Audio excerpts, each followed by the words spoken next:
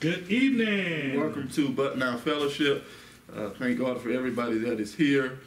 We appreciate those of you here, those also who are watching online. We appreciate you as well. We thank God for just another day, another day, and another opportunity to speak forth the mystery of Christ.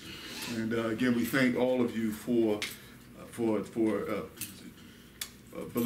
studying to show ourselves approved and also following the ministry and sharing the gospel every chance that you get uh, as we ought to be good soldiers of Jesus Christ and ambassadors of Christ and speak on behalf of Christ. Uh, that way we can build upon the right foundation and do the things that God wants us to do. So we thank God for that opportunity.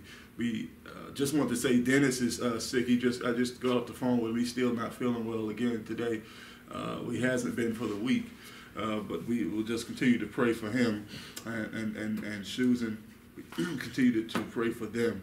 Brother Freddie, I talked with him. He had his surgery on Monday. I spoke with him on Sunday, and he was doing. Uh, he had this knee surgery on Monday, and I haven't talked to him since then. I to shoot him a text they have been uh, watching the uh, the ministry on uh, uh following online, and they've been uh, still here with us. And uh, told me he told me to tell everybody hello, and they miss us. And so he just has to have the surgery, and he should be should be pretty good. Had a torn meniscus, and so he had to get that situated.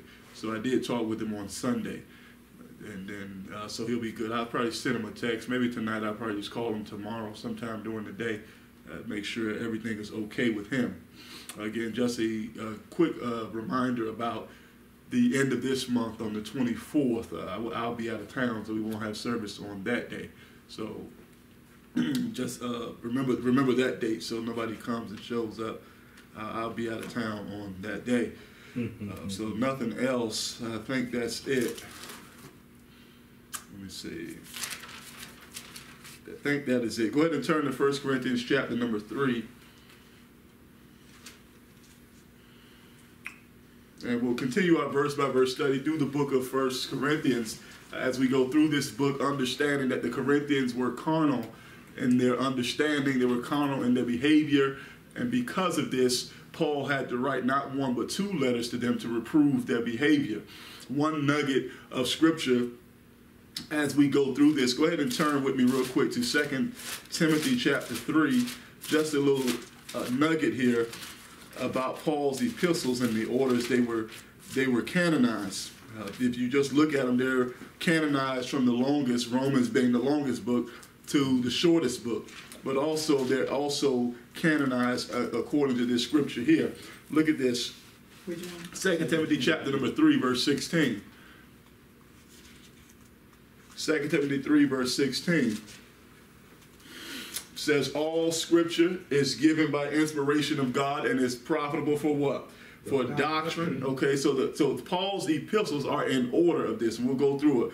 For doctrine, for reproof, for correction, for instruction in righteousness, that the man of God may be perfect, thoroughly furnished unto all good works. All right, so when you study out Paul's epistles, the first book that you get to is Romans. That is a book of doctrine. Paul lays out the doctrine and how we're no longer under the law, but under grace. Okay, he lays out that doctrine. The next book it says for reproof. Okay, then you get the first and second Corinthians. He's reproving them of their behavior. Okay, then it says for correction. After First and Second Corinthians comes Galatians. They were they needed to be corrected in their thinking. In Galatians three, Paul says, "O foolish Galatians, who have bewitched you, having begun in the spirit, are you now made perfect by the flesh?" So he had to correct their way of thinking. All right, and getting them to understand that they were no longer under that law, but under grace, okay? And then it says for instruction in righteousness, okay?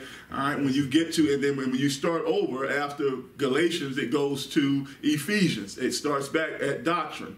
After Ephesians, it becomes Philippians, okay? Reproof, okay? They were uh, the Philippians were uh, uh, uh, uh, they were filled with the sensualism, okay, Epicurean sensualism, in which they were on one side of the spectrum. They had to be reproved of that. That's why Paul was saying, "Listen, if anybody could glory in the flesh, I more." Okay, but what I do, I count all but what? Dung for the knowledge and excellency of Christ. Okay, and the Colossians again, he had to go ahead and get correction with them. Okay, all right, and so forth and so forth. Go back to 1 Corinthians 3. But I wanted you to see that because Paul is writing the Corinthians because this is a book of reproof. Okay, so he's writing them. They had questions, and Paul is answering their questions and writing letters to them. Okay, because of the things that he had been hearing. Okay, as far as their behavior was concerned.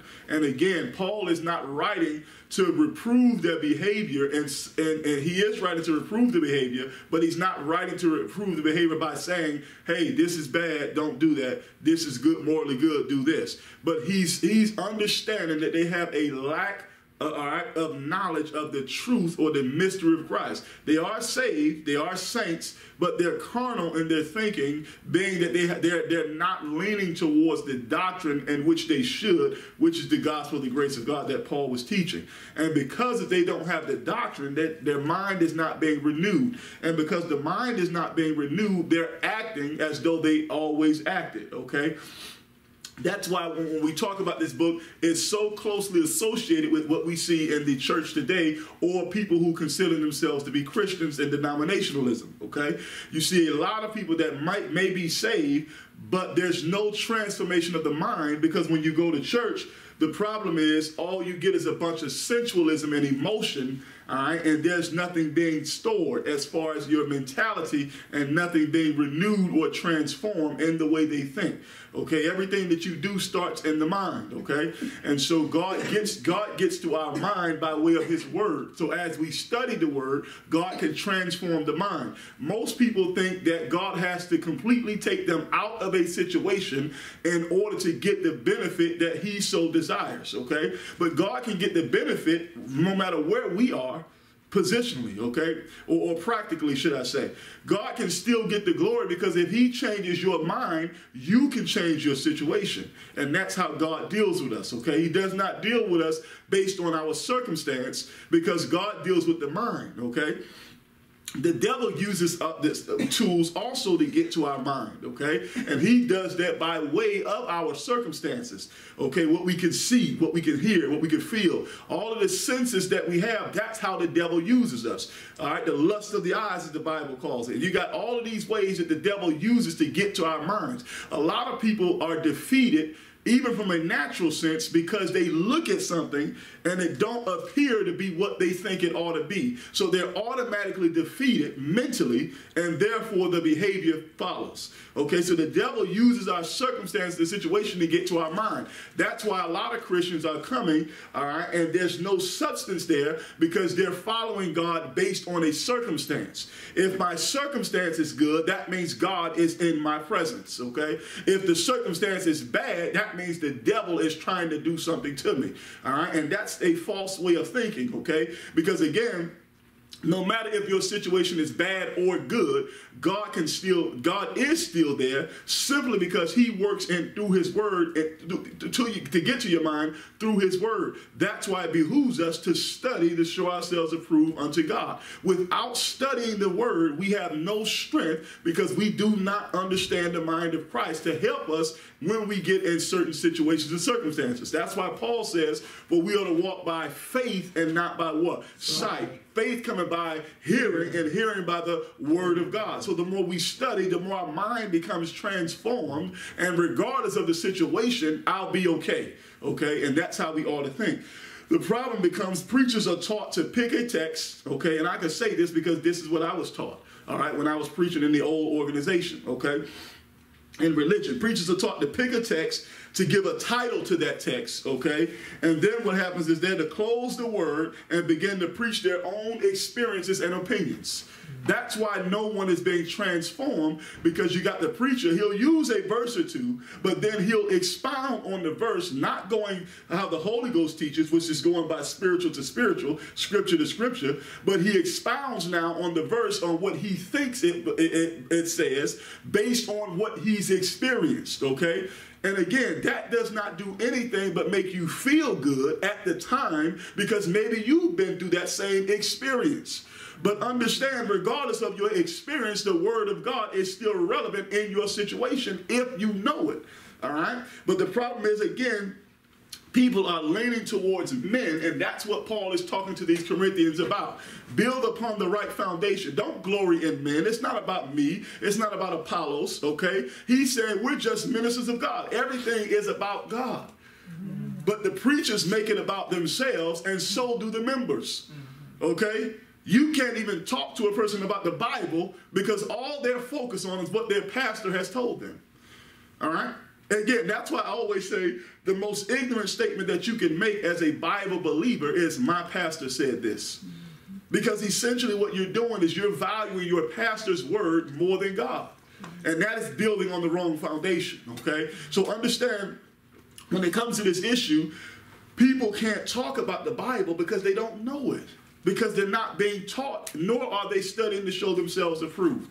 Okay? That's why when people are choosing churches, they look at all of these things that the church has to offer them, except for the word. Okay? Because the word is just a pastime when you come to church nowadays, because you got all kind of stuff going on now in church. The word is just a pastime, okay? But essentially, that should be your focal point. All that other stuff is, is good, okay? But if the word is not the focal point of the ministry, then you're at a ministry that's not according to, to the way God wants it, okay? That's why you're going to have your Bibles open the whole time so that you can hear what thus said the Lord, not what Kevin Hobbs has to say. Okay, and that's the issue. Go look at 1 Corinthians 3. Paul is dealing with these Corinthians here and their carnal state. He starts off in this chapter, verse 3, saying, I can't even talk to you unto spiritual, mm. all right, but as unto carnal, even as unto babes in Christ. And that is most people, they try to be so super spiritual and have no clue of what spirituality even is. Okay? So understand when it comes to the things of the spirit, you don't have to walk around as if you're some kind of a, a holy, you know, person because you, you know, go to church all the time. None of that is it, it, it, it, has anything to do with anything, okay? We ought to be studying to show ourselves approved, and that is the issue. Look at 1 Corinthians 3, look at verse 16.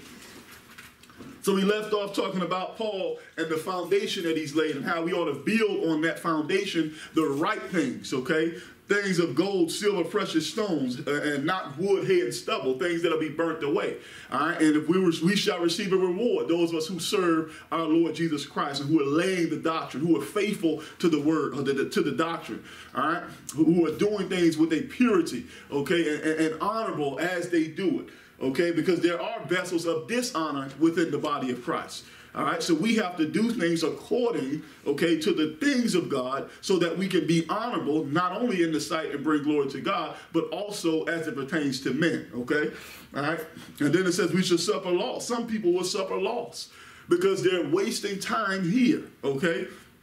You're wasting time. Things that we ought to be doing, all right, most people are not doing because they're either lost in denomination, all right, or they're either doing something other than what God's word says for them to do. And again, most people can't do it because they simply don't know to do it. Because they have not studied and they're too busy following mere men okay, as opposed to following the things of God. Now, Paul asks this question to the Corinthians. Look at verse 16. Know ye not that ye are the temple of God, and that the Spirit of God does what? Dwelleth in, you. Let's pray. Father God, we thank you for your grace and your mercy. We thank you for your goodness and your kindness. We thank you for this time and we thank you for your word. We ask you open up their hearts and minds that they may uh, continue to understand your word from a, a spiritual perspective, Father God, and uh, help us to not conform to this world, but be transformed by the renewing of our mind, that we may prove what is the good, perfect, and acceptable will of God. Uh, help us not to be uh, arrogant, Father God. Help us not to think more highly of ourselves than we ought to think, but continue to humble us, oh God. In Jesus' name we do pray. Amen. Amen. All right. So Paul is dealing with here, know ye not that ye are the temple of God, and that the Spirit of God does what? Dwelleth in you. Okay, so now, Paul is going to say this statement nine times, okay? Know ye what? No. Not. Okay, he's going to say this to the Corinthians. Now, why you think why do you think Paul is saying know ye not? Because he already because these are things that they should have known, okay? So he's saying, listen, know ye not that ye are the temple of God and that the Spirit of God does what? Dwell, Dwell in you. Why should they have known this? Look at 1 Corinthians 3 and look at verse 9. For we are laborers together with God. Ye are God's husbandry. Ye are God's what? Building. Building. Right? And I say this, we don't have to go to church because we are the what? Church. Amen. And that's all people see. You just, just don't show up. All people are focused on is you come into a building and being a part of something, as they say. All right, now it is good to come to church and dwell with other like-minded believers, but not for the pretense that they want you there, just so they can get their numbers. Okay, that is not a, a, a reason to go to a building. Okay, we're going to the building to study to show ourselves approved unto God. That's the whole point. But we are the church. All right, but people will, will, will drag people down about coming to church and coming to a building, not realizing that they are the church. That's why Paul is telling, know ye not that you are the temple of God? All right, look at this. Look at verse 17. If any man defile the temple of God, him shall God what? Destroy. For the temple of God is holy, which temple what? Ye are. Ye are. Ye are, okay? So listen, God is, uh-huh. Question about that. In mm-hmm. that verse itself, it never says church, it says temple. Absolutely, all right? There's A difference. There's a reason, okay? Now, he's talking about that because, again, he's speaking of the temple of their bodies, okay? Not so much as the individual, but the body of Christ as a whole, okay? So watch this. He's saying, now, if any man de- de- uh, defile the temple of God, him shall God what? Destroy. destroy. Okay, so now God is in us every second of the day. That's why he says, Don't you know that the Spirit of God dwells in you? It is our responsibility because of who we are in Christ to act accordingly. Okay, look at, uh, uh, let's go to Ephesians chapter number one.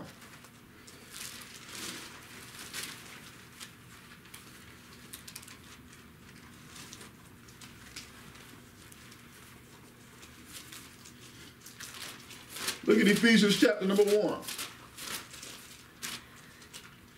Look at verse 13.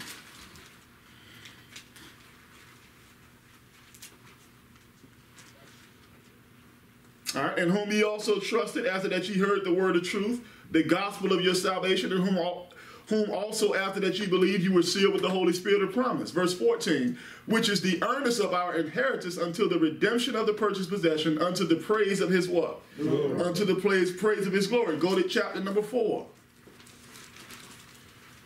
So if we're sealed with this Holy Spirit of promise, know we know ye not that the Spirit of God dwelleth in us?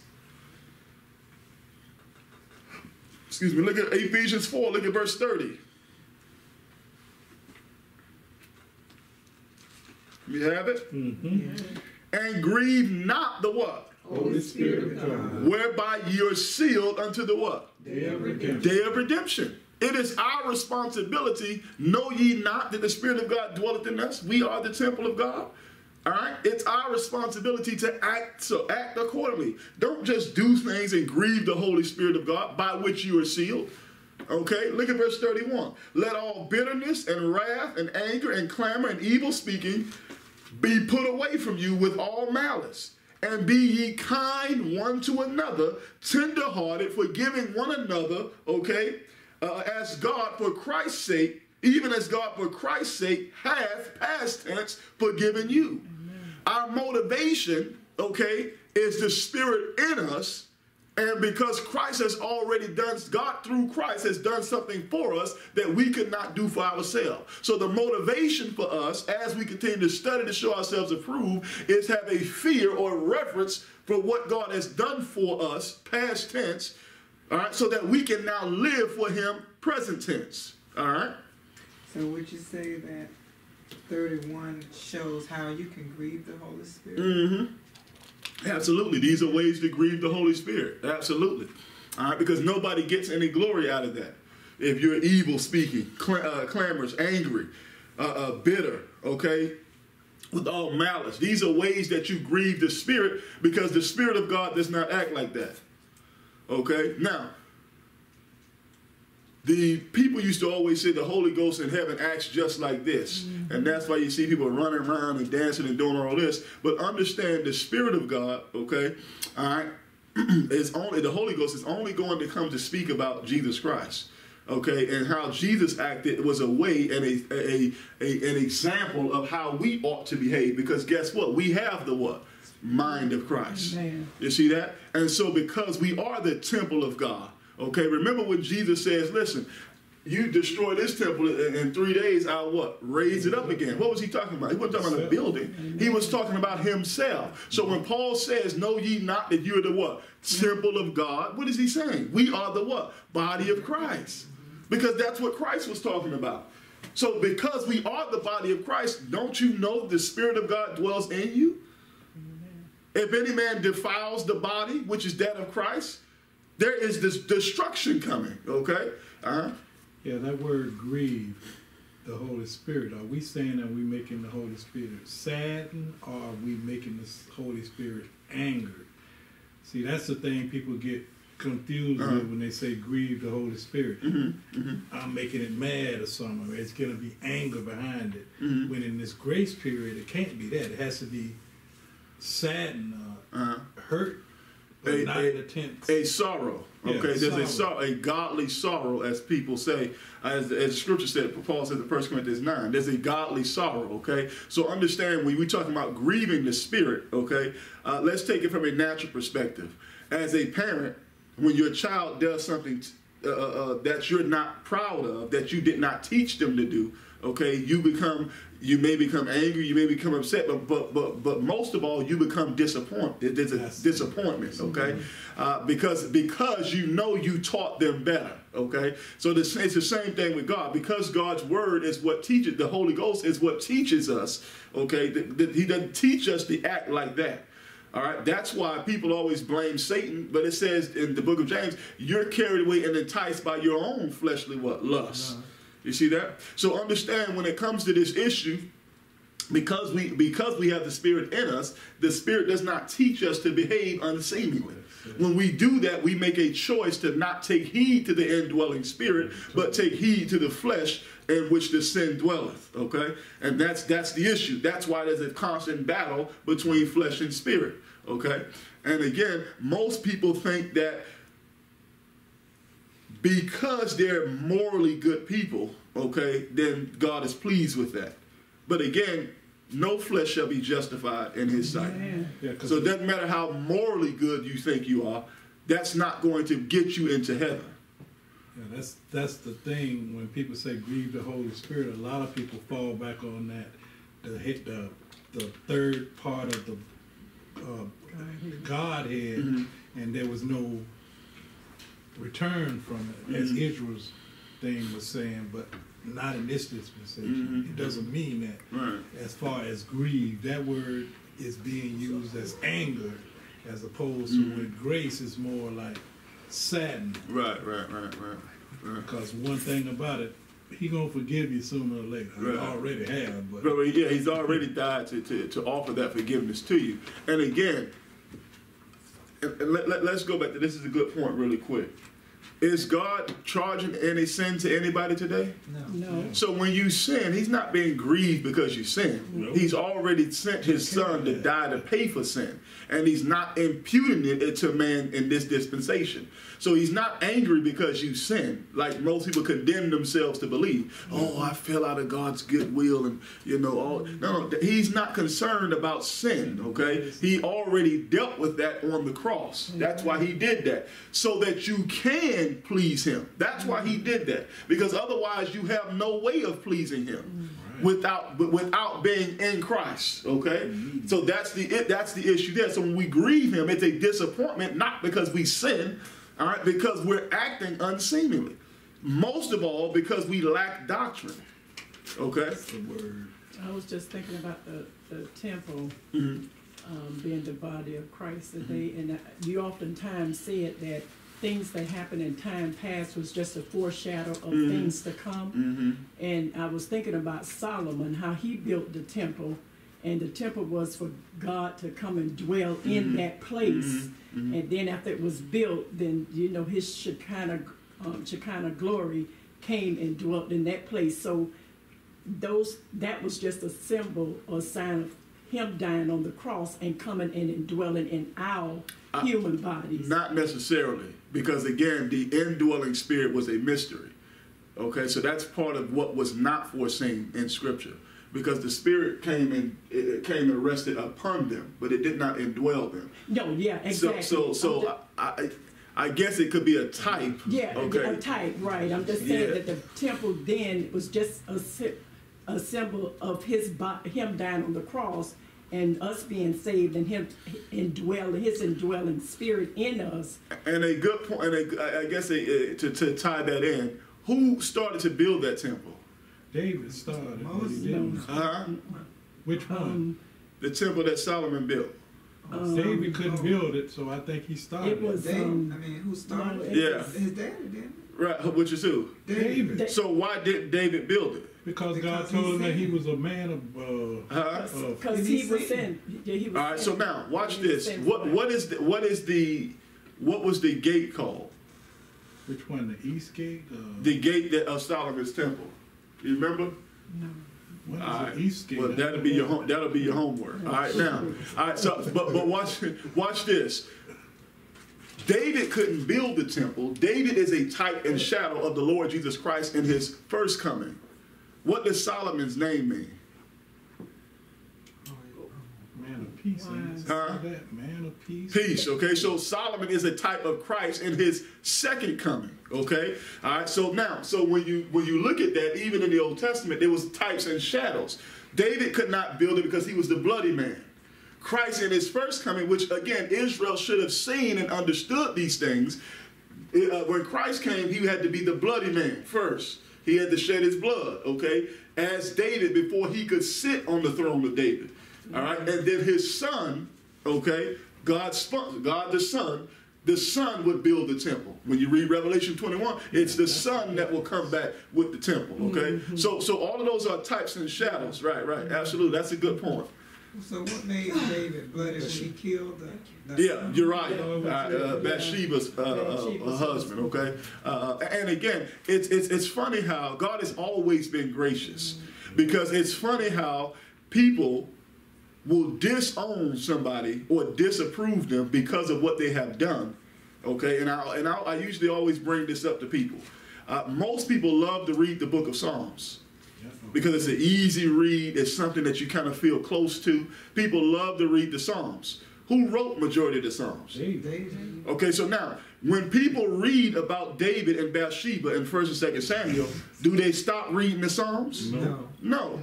You see that? So David killed a man, okay, to get a woman, Yes, he did. okay, which some people, ministers of God, are doing today mm. to some similar fashion. And people will write them off, right? But nobody stops reading the Psalms.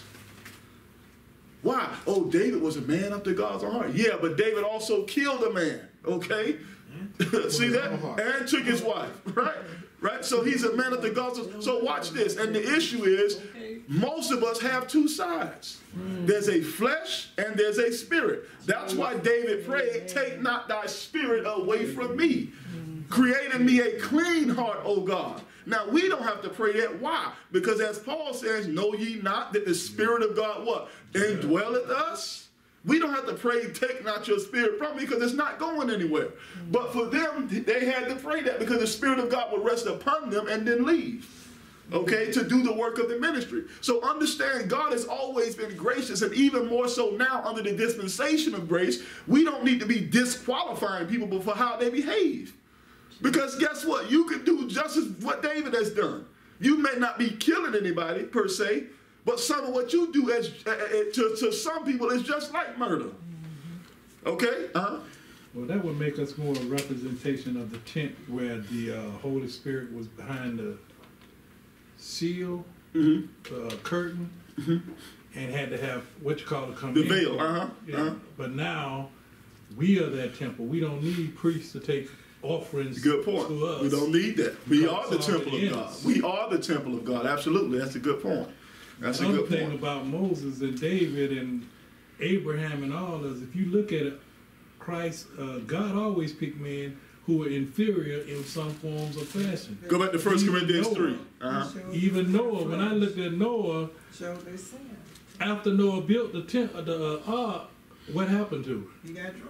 Became an alcoholic. Mm-hmm. Stuff like that. You got Moses who actually killed a man. Mm-hmm. You have Abraham And- and- and the people Bi- don't realize and the Bible- Abraham lied.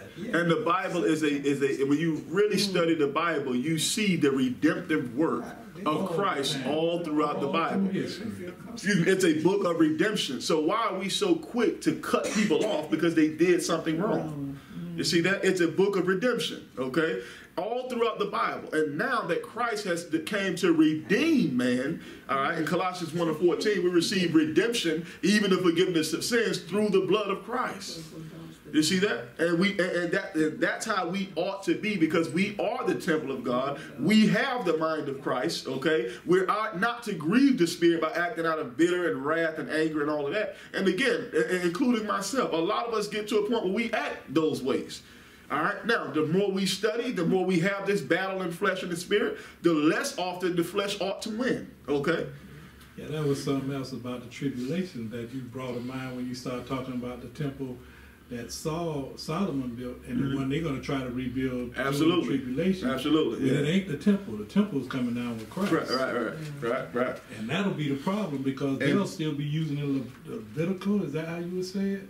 Uh, priesthood uh, according to that, and, and not after the order of Melchizedek. Thank you. Hebrews seven, Very good absolutely, yeah, absolutely. Uh-huh. What is the scripture, or is it a scripture about the Holy Ghost will not dwell in an unclean place? Uh, what does that mean? Now that's not actual scripture. That's a saying It's that a people have made scripture. Now there is a uh, go to uh, No, we sure can't say that. go to uh, let me see, None of us would say that. let me see, uh, uh, Oh, that was scripture. uh, let me see. But No. I've never, I can't say I read it in scripture. That's what I'm saying. Now we it's heard it- we good heard to- it for- Uh, go to uh, I'm trying to think of a verse now. Um, Let's break the rumor. Yeah, that, that is definitely a rumor. Go to uh as a matter of fact, go to 1 Corinthians 3.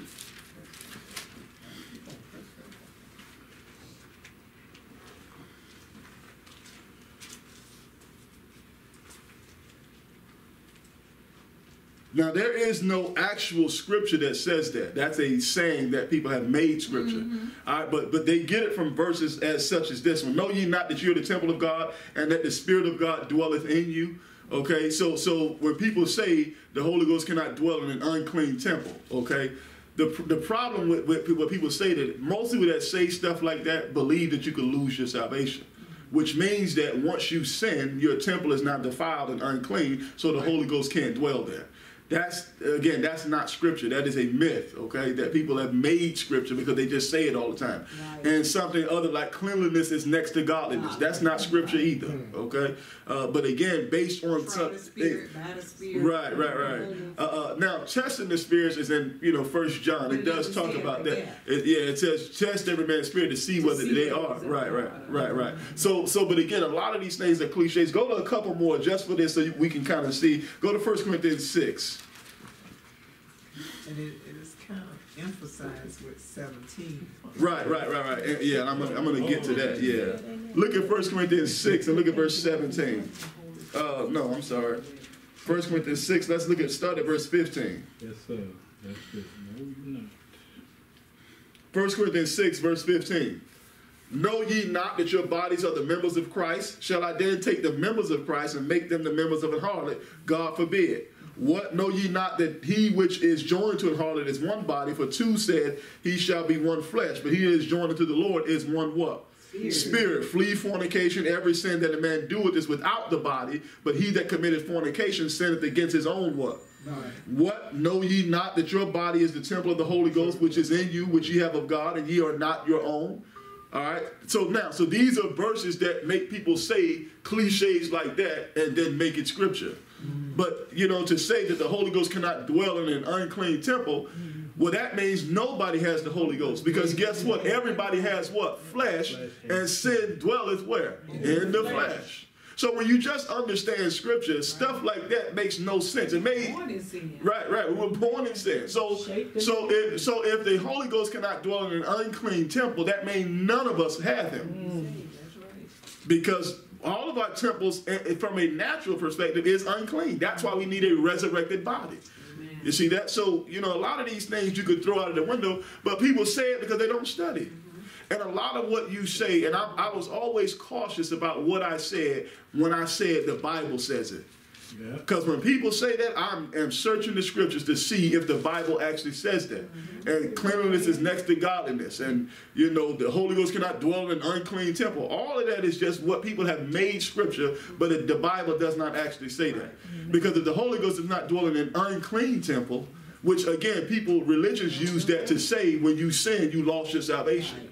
Because the spirit ain't gonna dwell there if you're doing all that bad stuff. You, you know what I'm saying? That's what people say. Unfortunately, that is not what God's word says.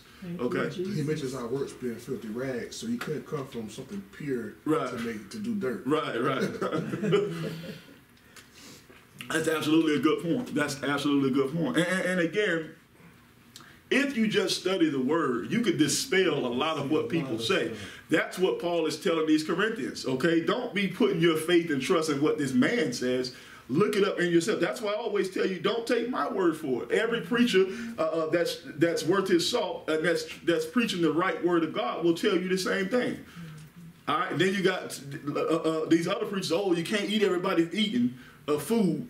Don't be going to this church and hearing this preacher go to that church. No, that's because they want you to stay there and be uh, brainwashed by them. Okay, uh, because what difference does it make what preacher you hear? As long as it's the word, what difference does it make? You see that? But again, they put so much stock in people. Okay, and again, every preacher should be telling you, listen, that's why we have Bible study. We're not studying what Kevin Hobbs thinks it says. We're studying the actual Bible. Okay, that's why we go into these scriptures so you could see what thus said the Lord. All right, if you're at a church where you hear a bunch of opinions and experience, and as opposed to the Word of God, you're not in the right place. But that's most of religion now. They're That's not it. teaching you grace. They're teaching you what their pastor said. Right, that, that's what they're uh, teaching. What I perceive is what the word said. Instead Right. looking right there and say, Right. what it say right there. And the crazy part about it is if this if you tell them so your pastor's word is has more authority than God and his word. Oh no, no, I'm not saying that. But my pastor is called of God. He's anointed. Okay? Okay, well, with his anointed self, okay, let's get in this Bible, okay? So understand it's about the word. It ain't about who you think you are or who you think your pastor is. All right, that's what Paul is saying. People were they were saying, oh, Apollos, uh, Paul. You know, Paul is saying, listen, we're both laborers together. We should all be speaking the same thing. So it don't matter if you go to this church or that church. What I'm telling you, whatever church you go to, make sure you are studying the word. Okay, that's what that's what matters. Unfortunately, when you go to all these different churches, you are going to hear everything but the word. That's the key. Go back to 1 Corinthians uh, uh, 3. There's many other verses that kind of dispel that, uh, uh, you know, uh, cliche or false saying. But, but, but yeah, the Bible does not say that. Now, verses such as these in 1 Corinthians 3, verse 16, speak to that principles to some degree, but it is not scripture. Okay, cleanliness is next to godliness. Okay, no contentment. Okay, it is god is, is, is, godliness. Okay, uh, according to First Timothy six. Huh? And they didn't know any better. Yeah, yeah, and most people didn't. Unlearned. And and the problem is, the issue is even when you show people the scriptures, they still can't see it because they're looking at it, all right, with a preconceived thought or mm-hmm. concept, Absolutely. right? So they're looking at it based on what they've been taught that it says. Okay, that's why when I ask questions, that's why I do that. Because most people cannot articulate what it is they actually know. They're going to try to remember what they've been taught. So when you ask a question that throws a monkey wrench in what they've been taught, okay, because I, because I know what was being taught because I was you know under that system of religion. All right, I understand the questions to ask that make people go, well, I don't really know about that. So now that you don't know, for those people who are actually seeking the word and God's word, you should prompt the question, well, I need to study this out. Oh, do you have the answer? Let's go to scripture, okay? But most people are not worried about that. They they just want the Bible to say what they've been taught that it says. They've been taught. Right. So I was um, actually speaking with a gentleman of the day, and he was trying to tell me that we go through scriptures.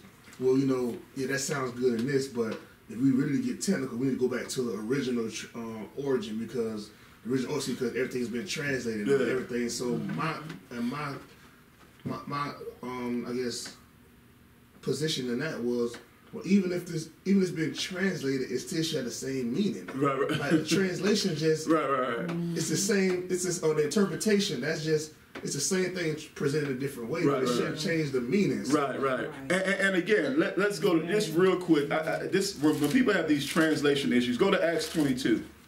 I always come here. Because people always go to translation and all that just to, so they don't have to be held accountable with the word.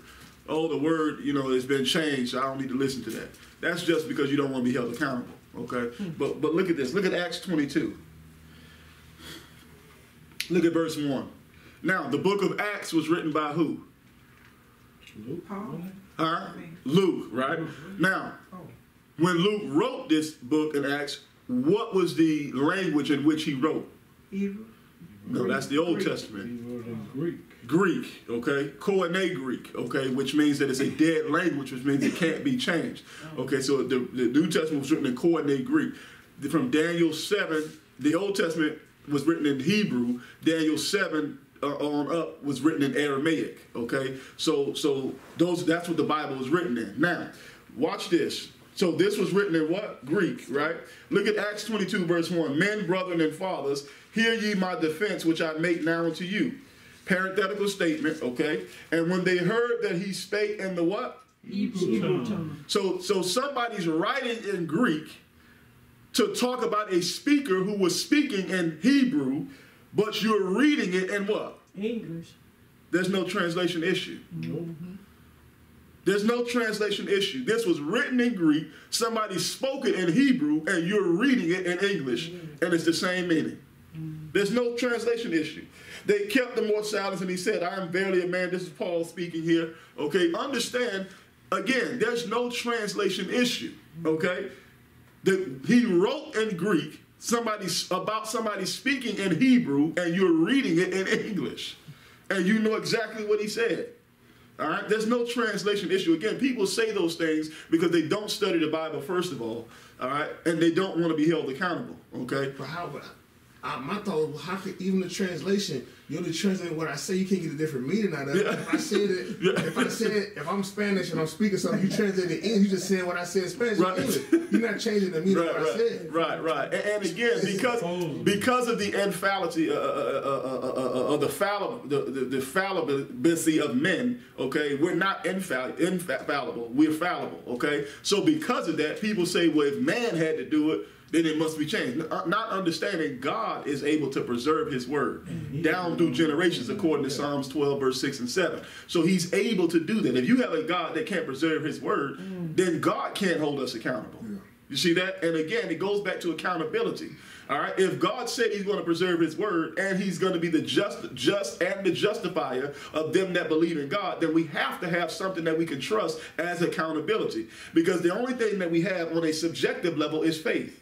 Okay, we can't necessarily prove faith. All right, other than God giving us something to prove the subjective of our faith with an object which is the word. Okay, so now our faith, which is subjective, all right, we can prove it by the word, which is objective. We can see it. We see that. So God has to preserve His word in order to be just, because otherwise God wouldn't be able to hold us accountable. And that's what people are banking on because they don't want to be held accountable. So they're banking on the fact that we don't have a, a word that we can trust.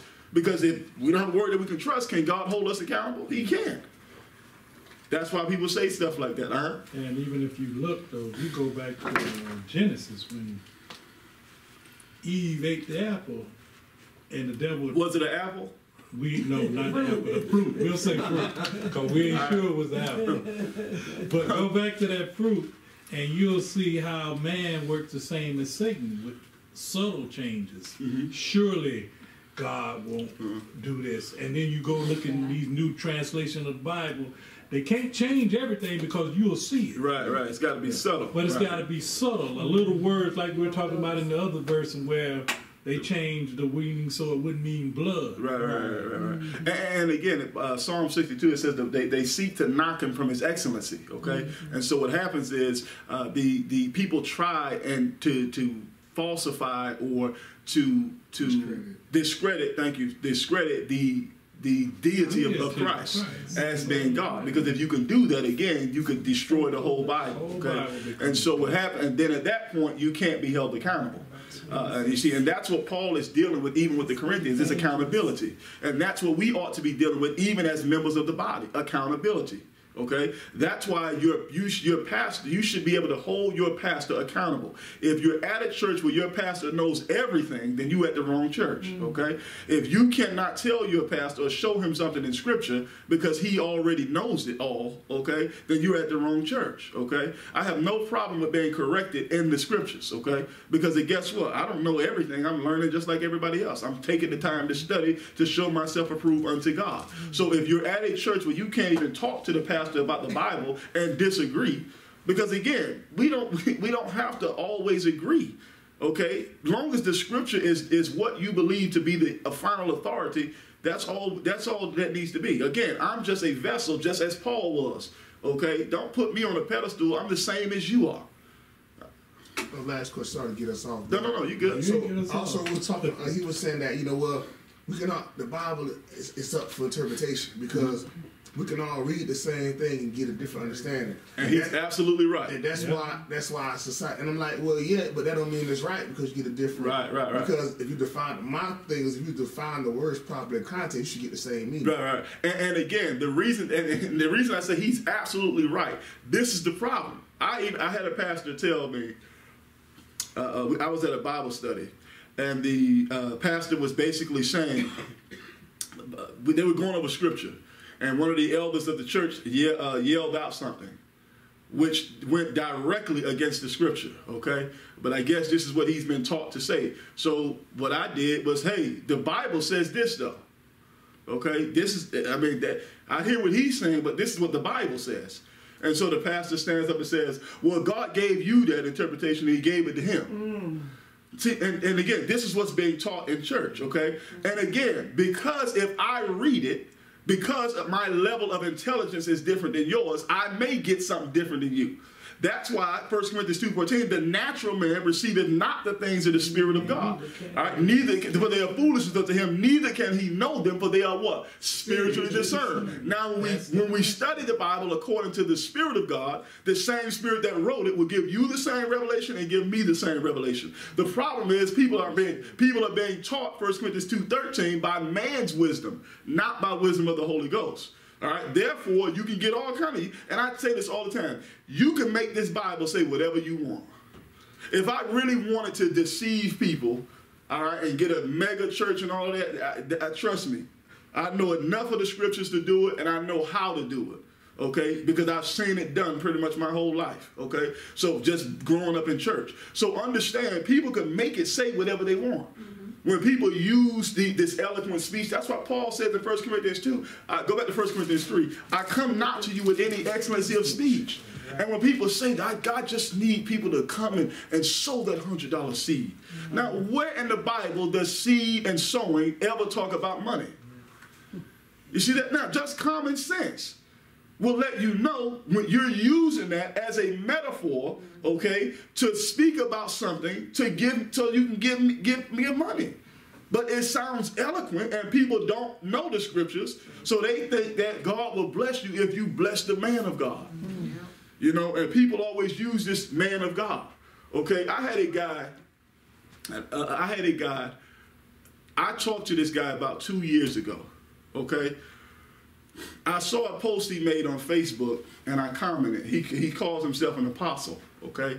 And I commented on the post and he said, Well, hey, call me, brother. He sent me a private message, so I called him. We talked. He was learning, you know, and, and uh, a couple days later, back in 2017, he sent me a text, uh, sent me a message there asking me for money. Okay, now I didn't give it to him at the time, uh, simply because I don't, I didn't really know him. First of all, but, but second of all, I said, well, I don't have it to give at this time. Okay. And so now here it is, two years later, he just sent me something else. Now he didn't say, hey, how you doing? Nothing. Hey, man of God, I need your help. Hmm.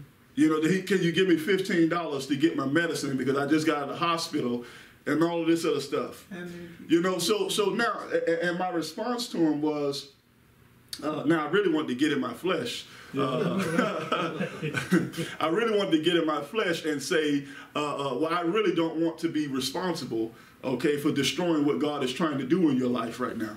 Uh, uh, so, so I, I can't give because you know that's what people say. Oh, this is a time where God is shaping you, and you know I really wanted to be facetious and say that. But what I what I asked him was, I said, well, man, I haven't spoken to you in two years. You haven't said, hey, how you doing? You know, you haven't even uh, greeted me. You're just asking me for money. I said, now, I don't have it to give you at this time, but I will be praying for you. Okay? And so, again, I said that to say, now, you're an apostle. Mm. And you mean to tell me God is not, you know, making sure and providing a way for you? And then I went on his Facebook post and he on here talking about how God will provide and all of this other stuff. Mm. And I'm thinking to myself, yeah, I'm sure he will. Because he will provide if I would have gave you some money. I'm sure he will. And that's what people do. And pe- preachers do this stuff all but you got people, you know, that's what people do. You're preaching prosperity, but yet you're in a position where you're asking. And, and again, I'm not saying it's, it's not okay to ask somebody for money, but I'm saying when you preach prosperity and doing all of this stuff, God does not operate like that. That's what I'm saying, okay? So understand God does not operate like that. I don't have no problem with lending people money, okay? I have no problem with that. All right, but my thing is when you're when you're saying something in opposition to God's word, but but yet you really have to come realize behind closed doors that I really don't have it. I have to ask, which again it's okay to do. But don't be up here talking about God gonna be prosperous and He wants you to prosper and be rich and all of this, but yet you begging people for money. Okay, so so again, when, when you speak about things like that, you have to understand the scriptures. Okay, because people will sell you a a, a, a, a, a bridge in London if they could. And if you're ignorant enough to buy it, you'll buy it. Okay? And it's the same with scripture. People will say all kind of stuff about God. And if you don't know the word, you'll be easily deceived. What you have? Um, oh, go ahead. Go ahead. I'm saying, and really, for enough people to sell it, you'll buy it. Right. So, Right. what's so what's happening is a lot of churches, a lot of religions are saying the same thing with the tithe and certain things. So, like Yeah. you're hearing it so much, like even the scripture that we thought that we thought it was a scripture because Right. we heard it so much. So, Right. when people say a particular thing, you're falling victim to it if you don't really study Right, right, yourself. right. And, and, and again, that's why Paul, going back to 1 Corinthians 3 here, that's why Paul is instructing them not to glory in, in, in, in men. All right, there's no that that's vanity, okay? Study the scriptures. The men were just laborers of God. So if the man of God is not speaking the things of God, then he's not being a man of God, okay? Because the man of God always speaks the what? The things of God okay? Not just quoting stuff and making it sound good, okay, just to give you some allure that God is doing something that he's really not doing, okay? Look at this, 1 Corinthians 3. Yeah, good, good questions there, good points.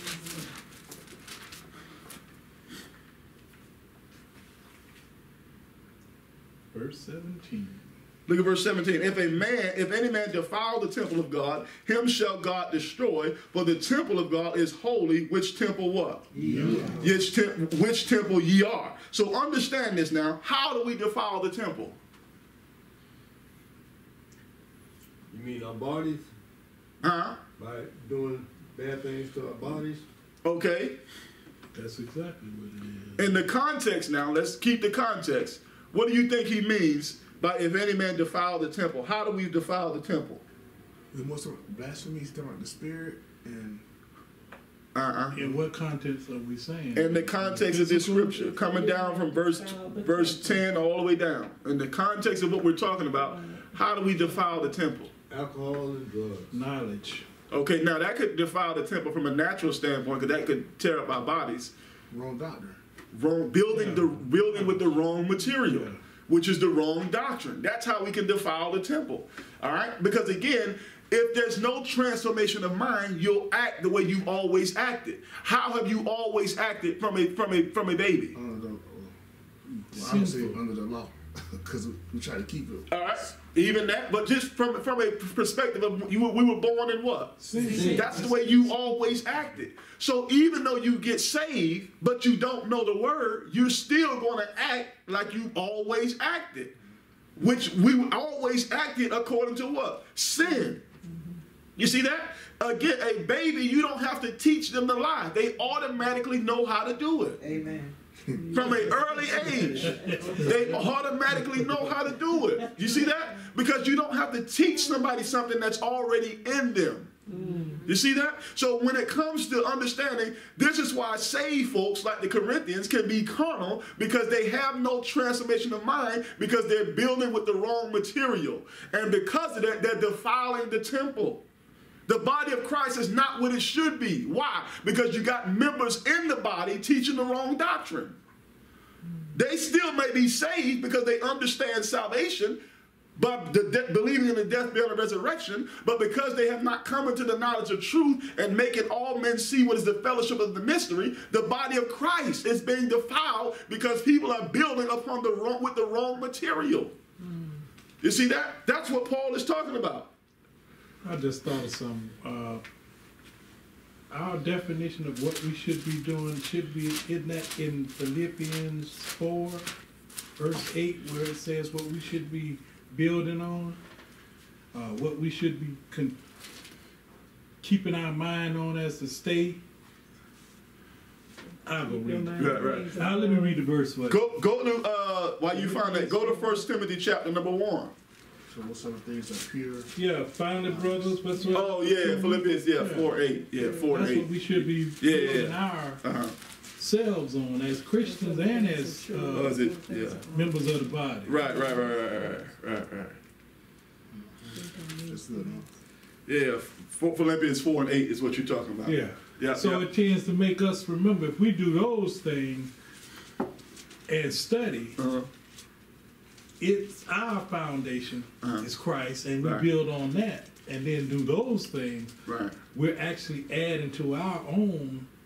What you say, defile, not defile, but what's that word that you used Sunday? What's that? You told us Sunday, not foundation, but who build on it. Stones, not as stubble. That's Oh, wood, hay, stubble, yeah, yeah, Yeah, yeah, not as yeah. wood, hay, right, stubble. Right, right. But building gold, silver, precious stones, Yeah. right? Building upon the right foundation with the right material. Material. Okay. That's Let it. me ask this: When you first get in a vehicle, what do you do? Close the door.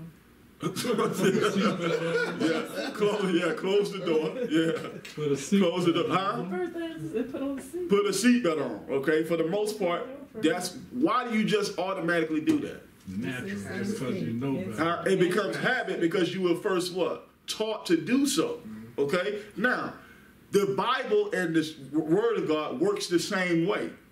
When we get into situations, we automatically do certain things because we have the what? Mind of Christ and the Spirit dwelling in us. Now, if we have not studied, we won't know to do that. Because again, it, it was what? It's habit. Okay? If we don't know the word, it can't become habit. That's why when Paul says things like pray without ceasing, he's not saying just walk around. Uh, he's saying to always have the word of God in you.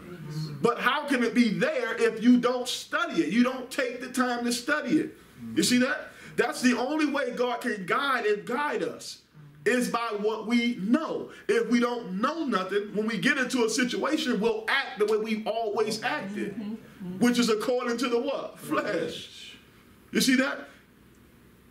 According to the flesh. Now, I was uh, uh, uh, frustrated the other day. My internet was off. Okay, and I I got to work from home. Okay, Oh, boy. all right. So yeah, so I was I was frustrated now.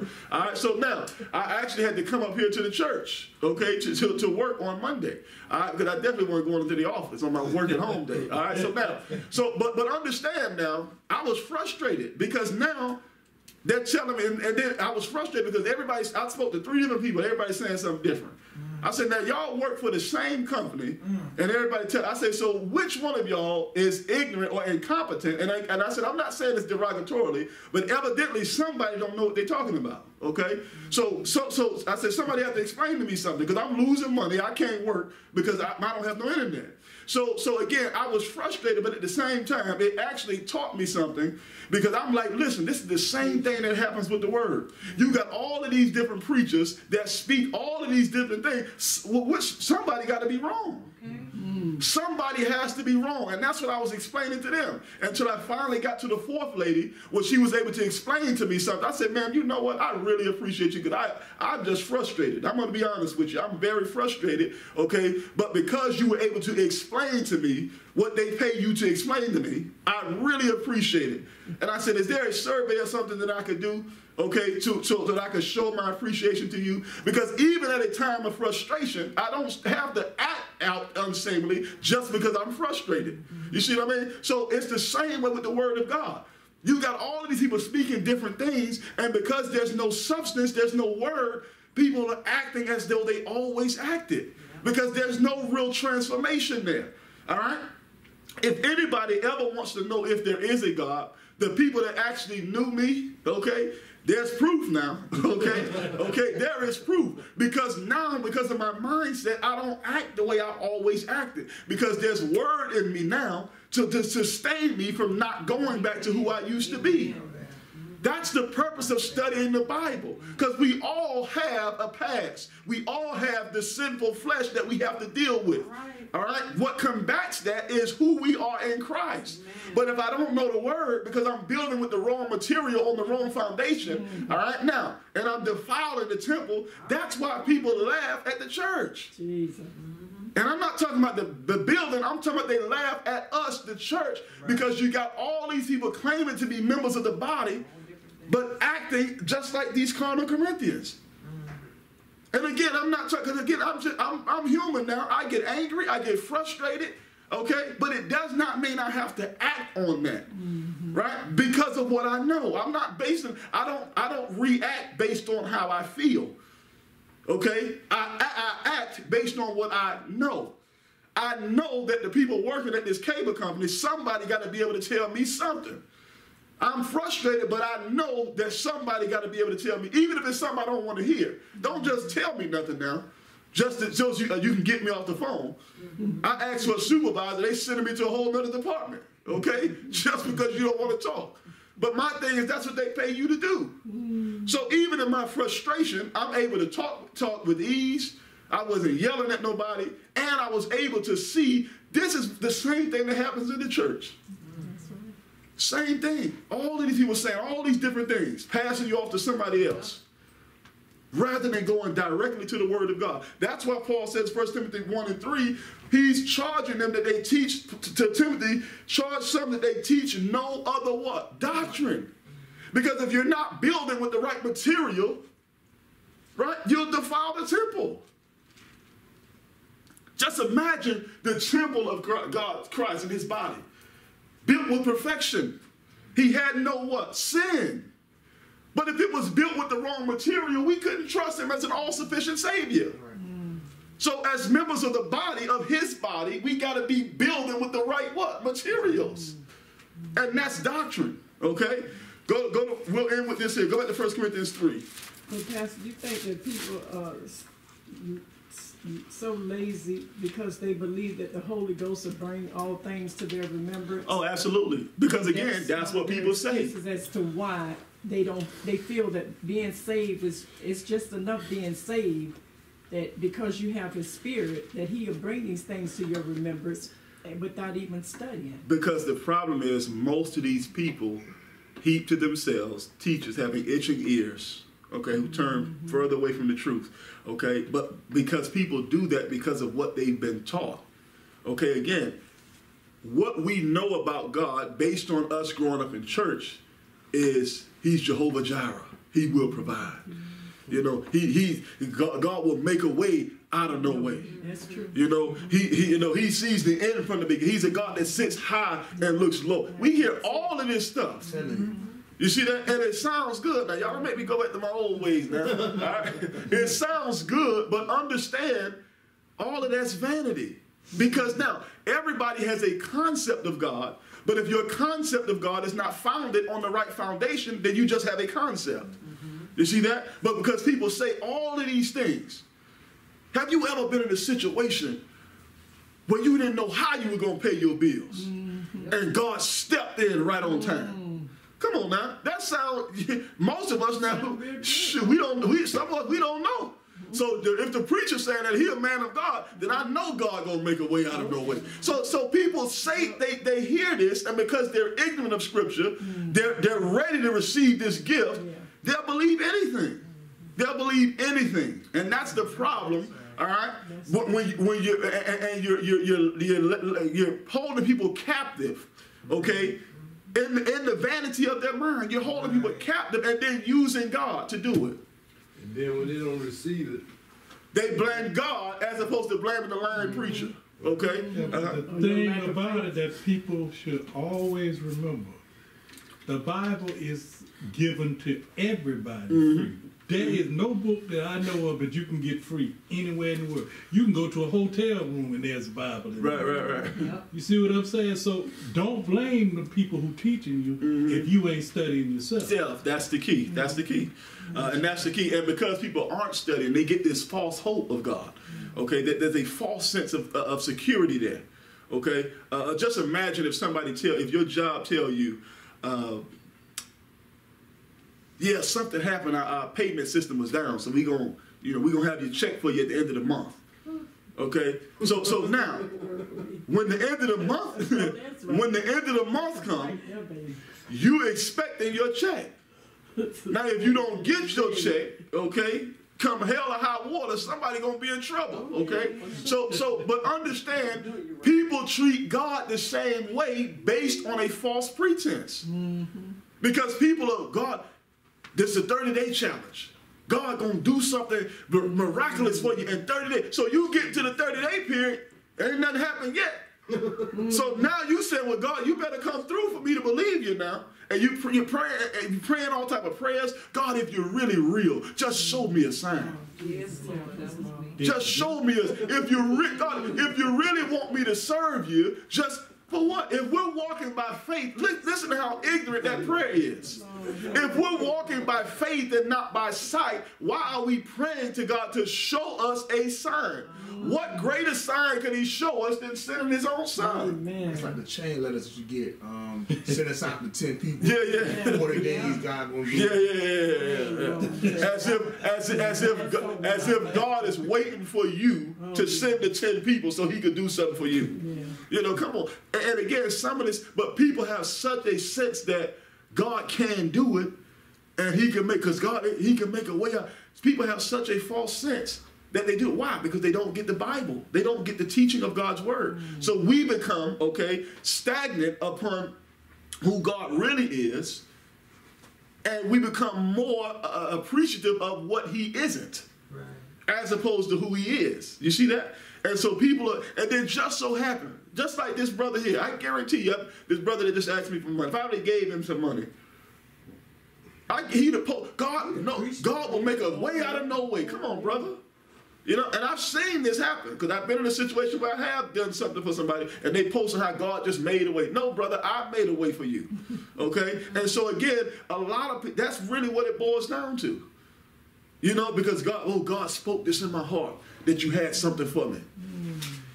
They- I said, I had somebody actually tell me that this was when I was in the old church. And I said, I said, yeah, he didn't speak it to me yet, so I'm gonna wait on the revelation of God. Okay, so I'm gonna wait for God to reveal it to me.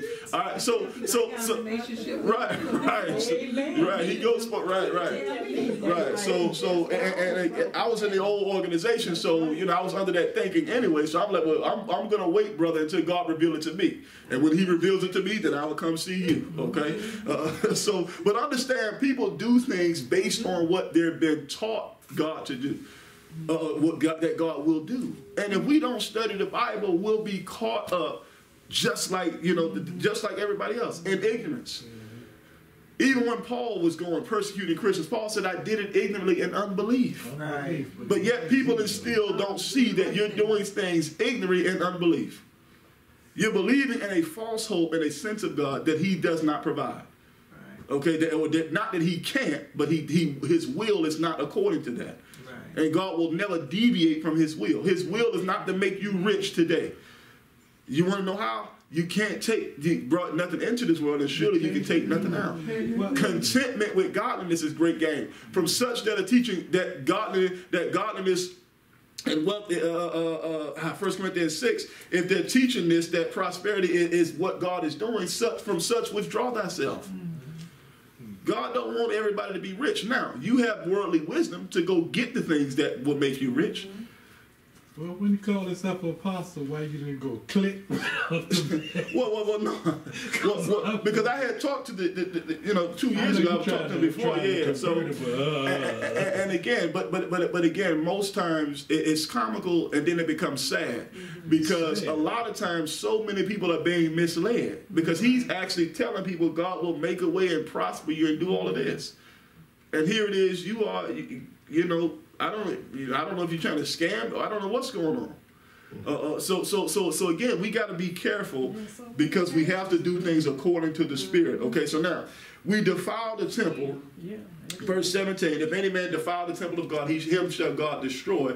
For the temple of God is holy, which temple ye are. Now, we were talking about the terror of the Lord on Sunday. And this has exactly also to do with this terror of the Lord.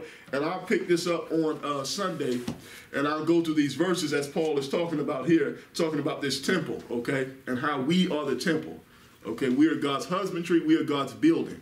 Okay, so we ought to be building upon the right foundation according to the doctrine, which is verse 10, according to the grace which is given to Paul to be, for him to be a wise master builder. And if we're not careful, we're going to be building on wood, hay, and stubble as opposed to gold, silver, precious stones. And instead of receiving a reward, we're going to suffer loss. Okay? And so understand, it, it behooves us to study the word. We got to study the word. It, it, it baffles me that people who claim to love God do not want to study his word. I, I just find that so baffling. And you just tell me about the experience that you have with God. You know, God always intended for us to believe his word over our experiences. You want to know how? Because he says, walk by faith and not by sight. Your experience is what you can see. Faith is the evidence of things not seen. So, God, I believe you at your word. Okay? And so that's what we got to do. We got to get back to the basics of studying the word of God. Because so many people are, it's, it, it, just, it, I talk to so many people every day about the Bible, or I either see something every day about people that just don't know the Bible, and more importantly, don't even want to study the Bible. Don't even want to take the time, five minutes, to read something about the Word of God or in the Word of God. It's sad. It- it's is sad. sad. And remember, and the body is being the body of Christ is mm. being defiled mm. because you got people teaching works, you got people teaching prosperity, you got t- people teaching all of these things other than what they should be teaching, which is the gospel of the grace of God, and making all men see what is the fellowship of this mystery.